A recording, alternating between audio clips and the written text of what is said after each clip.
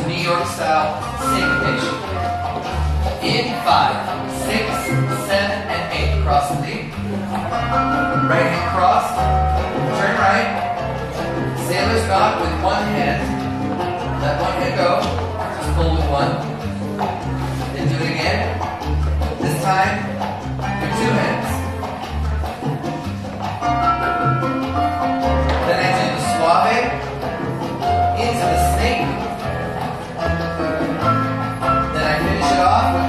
butterfly hesitation.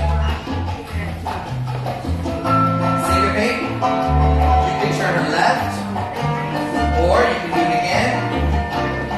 You can turn the girl clockwise to her right. Just turn her sooner. Now,